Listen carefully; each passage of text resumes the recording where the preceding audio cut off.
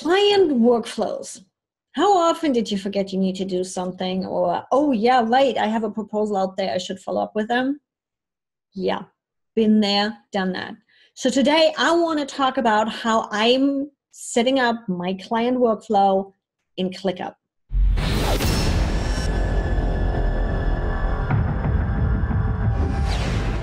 Hey everybody, it's Yvonne with AskYvi.com. And if you are looking for business efficiency tips and tricks, how to change your mindset to really rock your business, or any tips, tricks, or tools that help you automate and streamline your business, you are in the right place because that's exactly what we're talking about.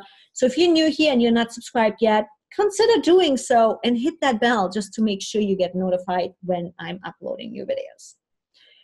Let's dive right in. Client workflow. Oh my God, we want them all and we want to get all of the clients. We want to take care of them and we're get, gonna get all the money. And how many of them did you forget in the past? Especially when when that spike hits off, suddenly you have double the amount of clients. Like, oh my God, I forgot I had to do that. I'm going to share my client workflow with you that I'm using in ClickUp to track clients and make sure everything gets done. So let's head on over there. Here we are. This is how my client workflow looks in ClickUp.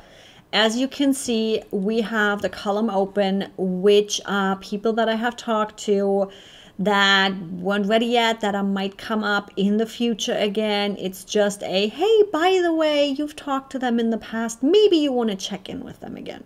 Then I have my potential client one, which as the name says, those are potential clients. They have reached out, we are in conversation.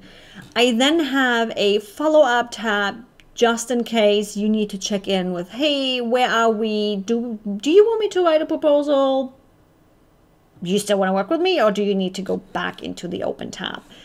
That kind of thing. Then we do have the proposal stage, meaning proposal has been sent out, we are waiting for them to come and sign or the start date is still a month out or whatever it is. Once proposal signed invoice paid and all of that they are moving into working on. And that's where it starts to become interesting. I usually do not have much of information in here with the clients till they come into the working on. When they're in the working on, they do get some to-do lists. For example they might get a little bit more information up here.